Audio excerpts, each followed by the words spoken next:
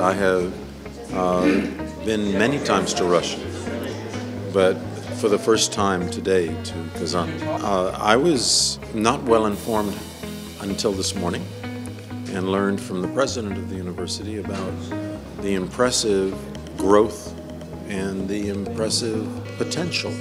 American science actually uh, developed relatively recently. Russian science was established long ago.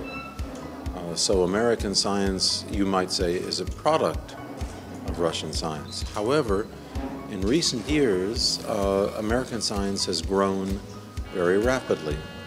Uh, Russian science uh, has suffered from a lack of support.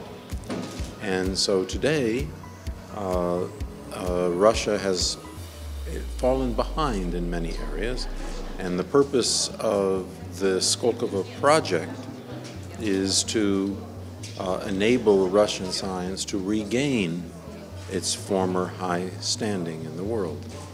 The sciences, the natural sciences, have increased in their uh, breadth and their significance dramatically. I am sure that the people who are the leaders of the university uh, had the very point in mind uh, when they chose to emphasize uh, research and education in that area.